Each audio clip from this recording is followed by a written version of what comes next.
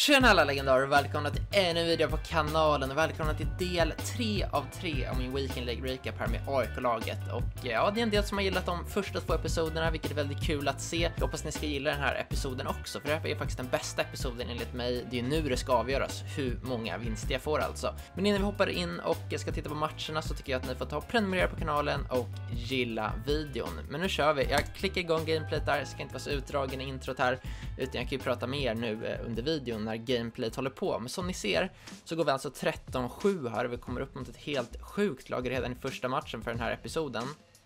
Match 21 det här alltså. Jag kommer alltså visa 10 matcher i den här videon, de 10 sista matcherna och eh, så har jag ju då visat eh, de 20 andra matcherna, de två episoderna innan. Och ja, jag är ledsen för att den här episoden kom ut lite sent. Jag sa egentligen att den skulle kommit ut i söndags. Men eh, ja, jag hann tyvärr inte få ut den riktigt utan jag spelar ju faktiskt också Weekend League i helgen ehm, och eh, ja, då ändå man kunde få Premier League eh, TOTS Rewards alltså. Eh, så den recapen kommer antagligen ut imorgon eller i övermorgon. Ehm, så mycket Weekend League recaps nu, men jag hoppas ni gillar det. Det är en väldigt uppskattad serie här på kanalen.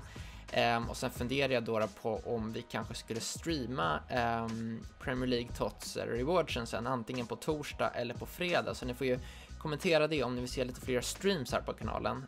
Um, vi gjorde ju en rätt lyckad stream förra veckan faktiskt, eh, när vi öppnade um, Weekend League Rewardsen och ja, lite andra packs också.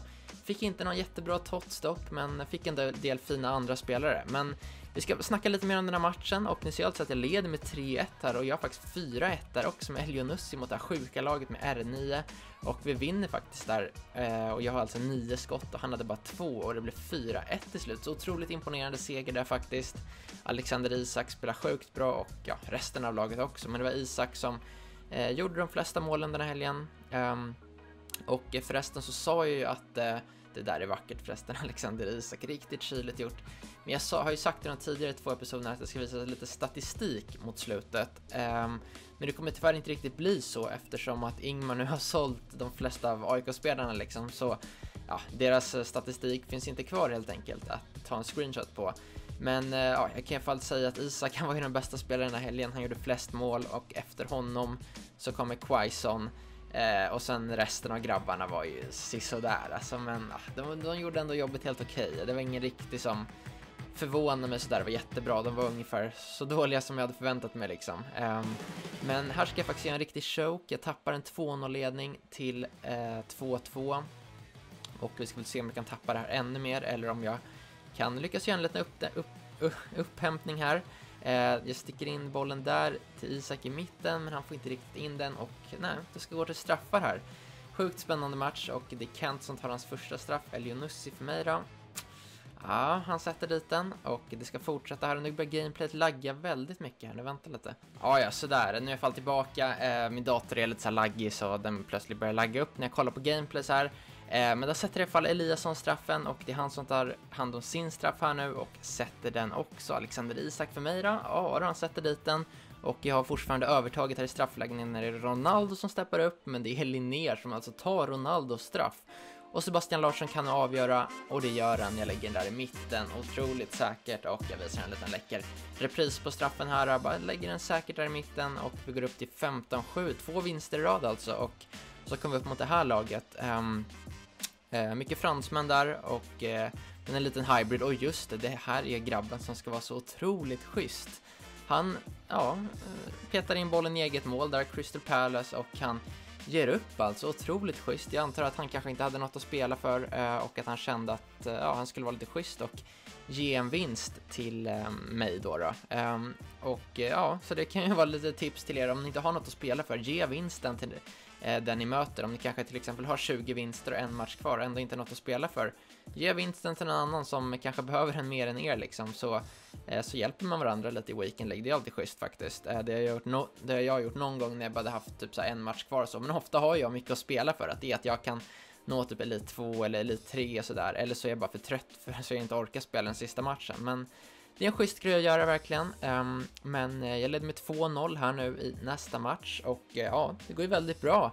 Um, jag kände väl att uh, ja, jag hade väldigt flyt när jag fick den där gratisvinsten och att ja, men det här är min helg nu, kom igen, nu går vi för guld 1 här liksom.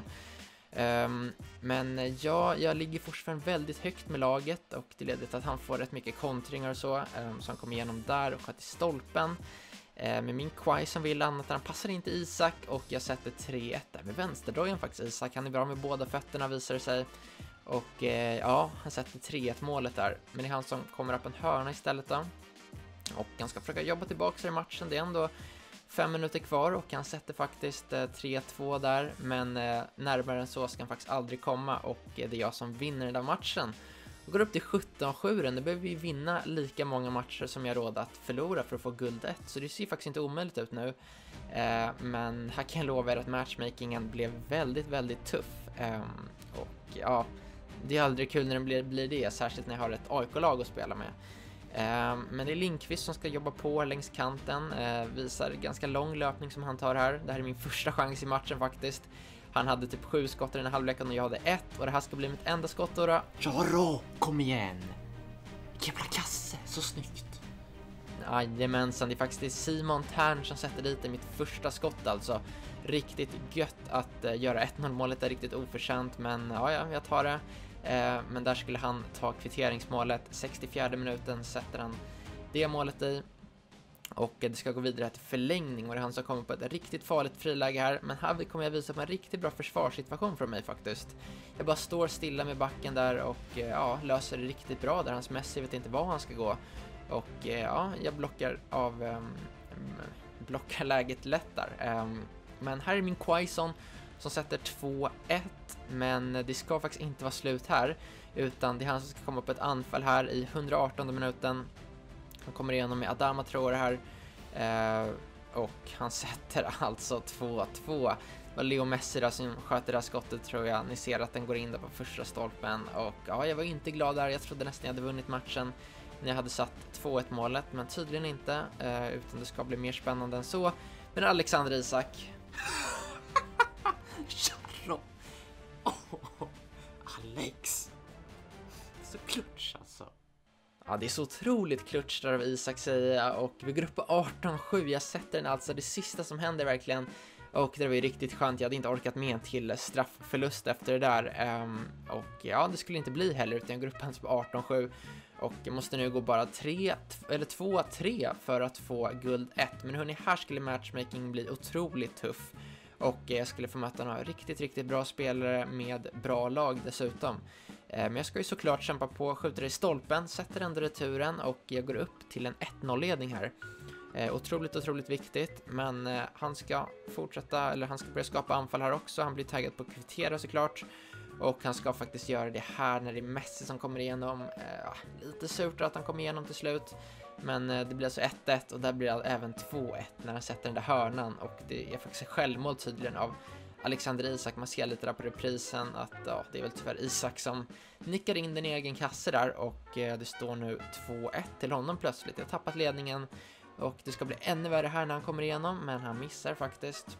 Och eh, det är jag som ska försöka trycka in ett mål här istället. Och här gör han faktiskt bort sig lite. Han passar ut den där till mig på kanten Eh, han försökte nog slå bort den lite där, men han misslyckades totalt och det är istället Quaison som kommer igen. Jarro! Jajamensan, Jarro säger det såklart. Vad annars skulle jag sagt där? Och eh, det är jag som eh, pangar in 2-2 målet och här ska han få ett läge dock. Han sätter 3-2. Det är sjukt när matchen svänger. Det är plötsligt han som leder alltså och han ska få en till chans här. Han ligger såklart högt upp med laget. Jag jobbar på för ett kvitteringsmål men istället är det han som ska få en frispark där, ingen straff utan det är faktiskt en frispark. Ehm, jag har lite tur där och jag har även tur där när han skjuter i ribban. Och hörni, istället är det jag som ska få det sista läget i den här matchen och jag spelar ju runt bollen lite och eh, försöker hitta fram den här Sebastian Larsson mot Isak.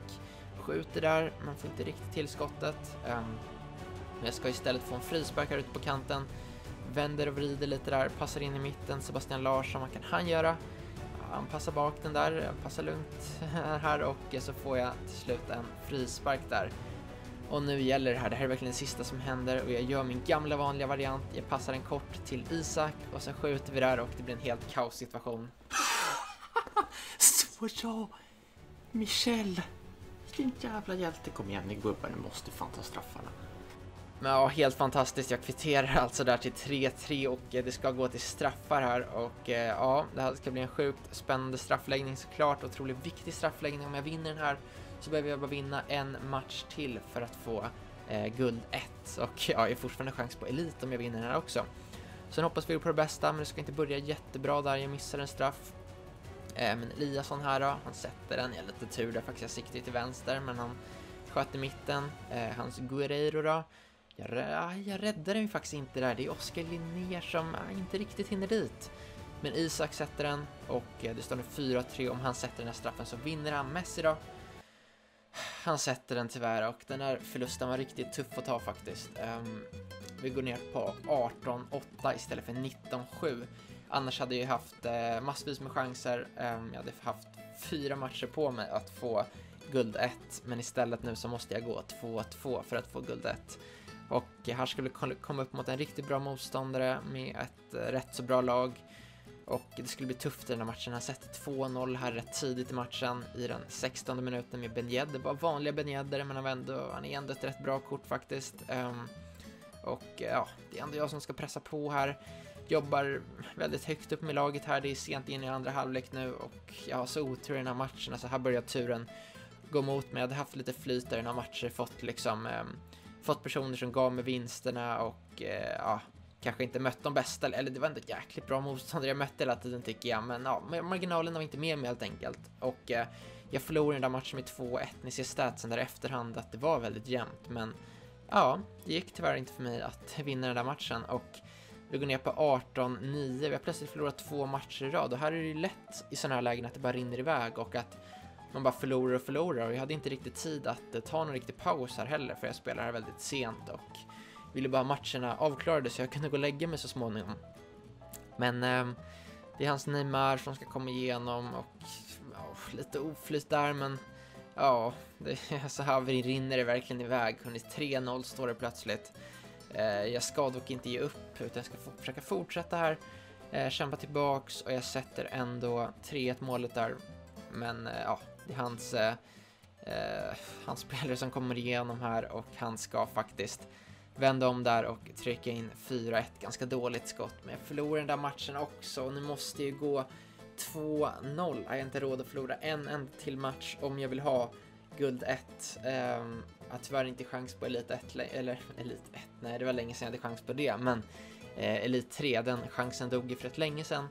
Men eh, jag ska åtminstone ta ledningen i den här matchen med Isak. Rätt märkligt mål där det inte så ofta man gör sådana mål. Um, men jag tar det målet och går vidare här och Isak ska sätta sitt andra mål för matchen och eh, vi har en tidig 2-0-ledning här vilket är gött, gött, gött.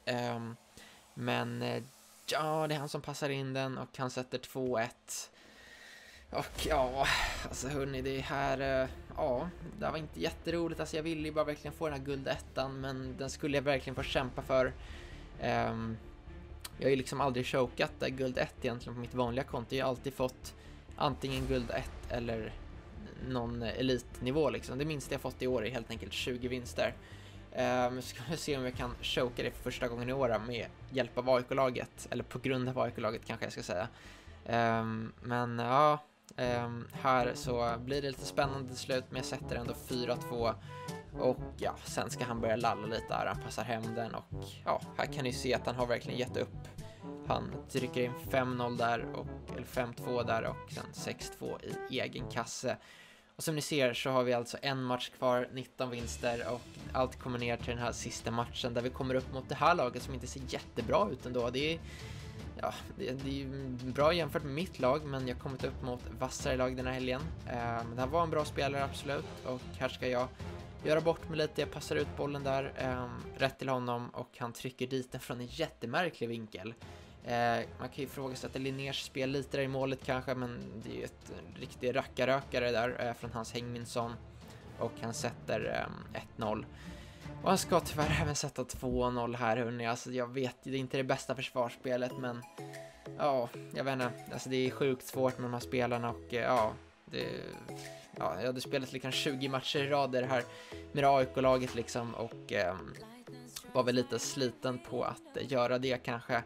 Och eh, tyvärr så ska han även komma igenom här och sätta 3-0. Han var riktigt bra den här grabben faktiskt tyvärr. Alltså det var helt välförtjänt att han har den här 3-0-ledningen. Eh, jag ska dock göra det sista målet i den här matchen när jag sätter 3-1, men bättre än så ska det tyvärr inte bli och jag slutar alltså på 19-11 här med AIK-laget. Från 18-7 till 19-11, tyvärr alltså så kunde jag inte göra det, men jag lovar verkligen att jag gjorde mitt yttersta. Jag försökte allt vad jag kunde liksom för att få guld 1 men tyvärr räckte det inte till. Men jag hoppas ni ändå att, att ni har gillat den här videon och att ni kanske vill se fler challenges i framtiden och ni får då kommentera liksom vad ni skulle vilja se.